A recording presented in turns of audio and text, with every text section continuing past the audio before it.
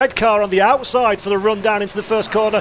Not where you want to be. Not one, not two, but three cars. He's Oh, contact, oh that's massive a contact. big hit. Massive, massive contact on the run down in a Paddock Hill bend.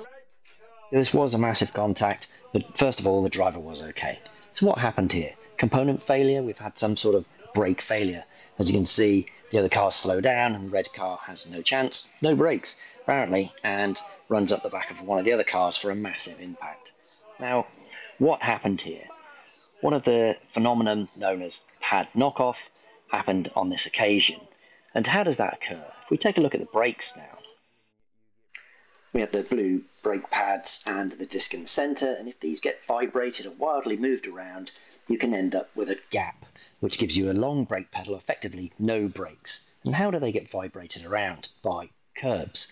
These curbs can have a raised section in them up to two to three inches wide, uh, high, and um, here, you know, that rattles the brake pads back, and what you often see drivers doing here, you can just see them dabbing the brakes before the main part of the track. Just pushing them out a little bit wide onto the gravel there.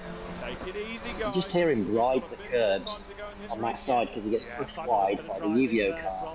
So he's ridden on those very high curbs coming out that corner.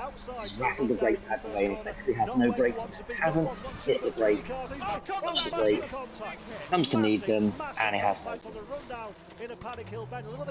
It was a massive impact. Luckily, everyone was okay. But do remember, if you do ride the curbs, then you need to just tap the brakes, um, as we've seen in um, these videos, to take away, bring those pads back onto the disc. So just tapping the brakes will make everything fine, and then they'll be ready for you to use them.